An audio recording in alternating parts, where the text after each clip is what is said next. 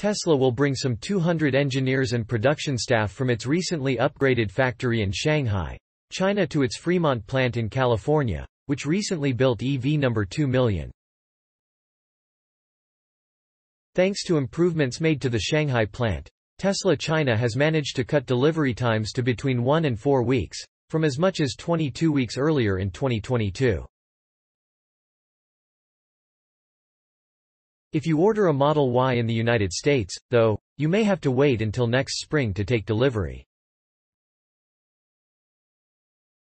Staff from China will start arriving in California this month and will stay for as long as three months, according to Automotive News, which quotes unnamed sources from within the company.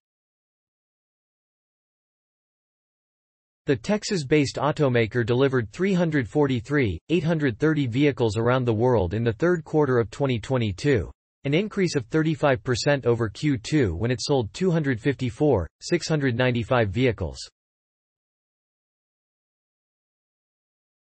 Most of this was down production rate increase in China, which wasn't just attributed to the factory upgrade, but also to Tesla China resolving supply chain issues and lifting pandemic restrictions in the second half of the year. Unless Tesla is able to speed up deliveries in the U.S., it may miss its self-imposed goal of selling 50% more cars in 2022 than it did in 2021.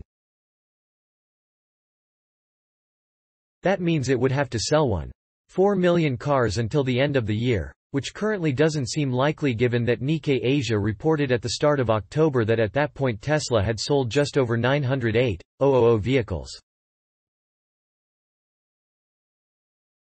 Will Chinese staff be able to help enough so that Tesla would be able to deliver almost half a million cars until December 31? Well, given that Elon Musk said that transport and logistics were the main obstacles, there just aren't enough vehicles to move its new cars around. According to Musk, this doesn't seem like a problem Tesla could solve on its own.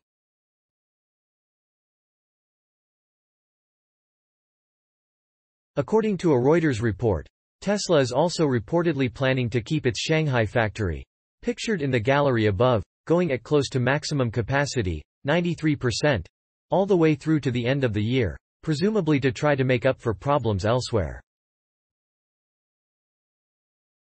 The Chinese plant was reportedly able to increase its weekly output from 17,000 vehicles per week to around 22,000 units produced thanks to the aforementioned upgrade. Thanks for watching. Credits to InsideEVS.com. And Spied Build LLC. Please like my video and subscribe EVpedia for more electronic vehicle news and updates.